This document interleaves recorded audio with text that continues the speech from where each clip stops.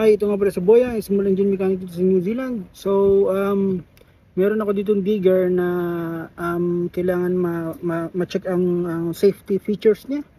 So, ang safety features niya, pag inuan mo siya, kailangan ang ilaw niya naka-green. So, green. Naka-green dapat, no? So, ito papakita ko sa inyo kung anong problema niya. Naka-green light yan. So, pag gagamitin ng digger, dapat naka-red light yan. So pag binaba na yung lever na yun, yung kulay pula na yan, magre-red yan. So ibaba natin yung lever na yun. Binaba. Okay, binaba. Red. Ibig sabihin red, hindi already uh, ano siya, um, engaged na siya sa engaged na siya na pwede gawin. So iba, itataas ko ulit na green. So ang problema niya ay yun, hindi nagana. Hindi nagana yan. So, i-check natin yung ilaw. Ayun naman yung ilaw nakalawit. Let's go. So, sa pagkakano ko, ang ilaw na to, para may gumawa na.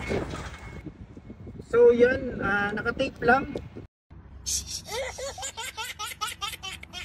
Uh, naka-tape lang siya.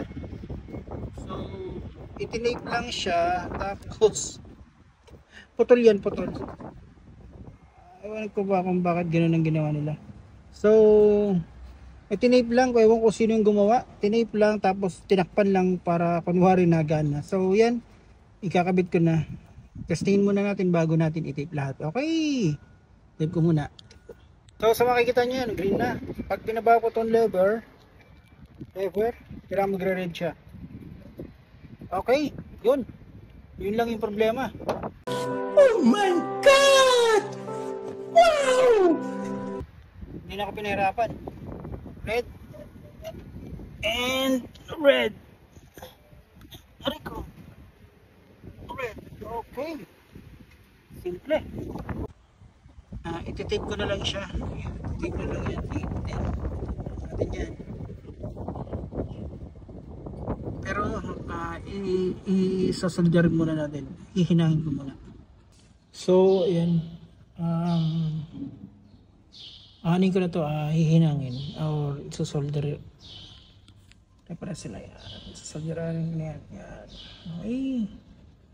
Tapos gagamitan ko sila ng shrinkable tube. Meron rin siyang shrinkable tube na nandito para protektado siya sa ulan. Okay. Let's go.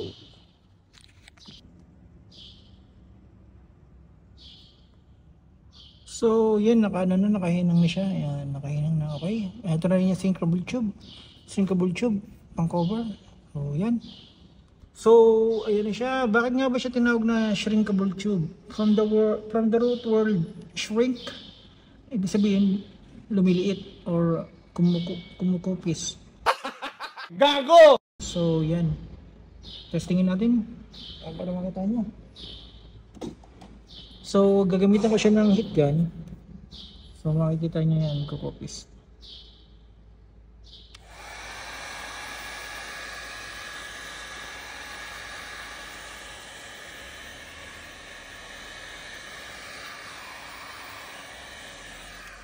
So, ayan, naging itsura niya.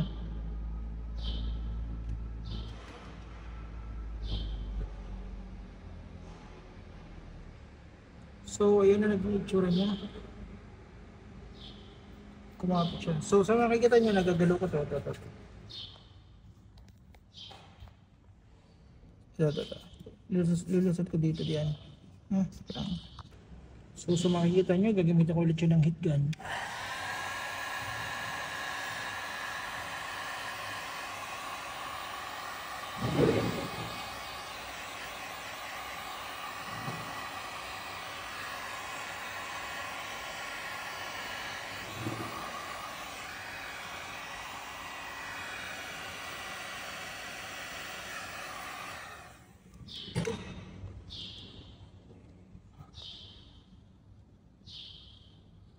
So, yun, kumupis na siya. Tingnan na natin siya kung siya ilaw hindi. Turn on. Green. Okay. May green siya. Sa likod. Green din. So, pag binaba natin, red. Okay, red. Red. Okay. Simple. Okay, yun lang. Napakasimple ng ating ginawa. So, ito nga pala si Boyang, small engine mechanic dito sa New Zealand. Medyo mainit dito sa pwesto ko sa warehouse. So, yun. Maraming salamat sa panonood.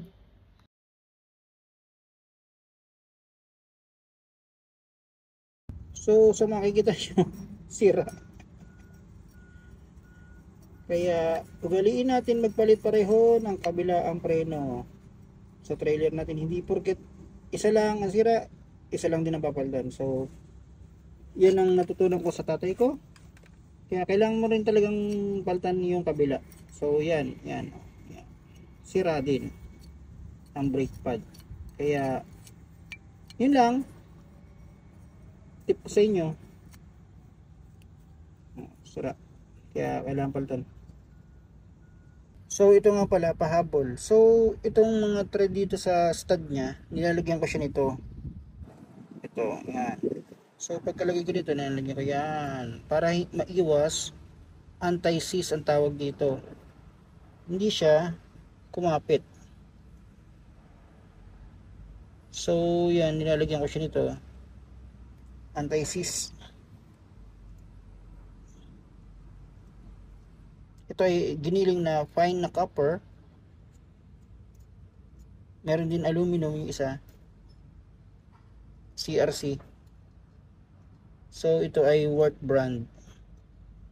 Napapabilib na ako talaga ng Wort. Magaling ang kanyang mga product. So yan. Kakabit na lang yung gulong.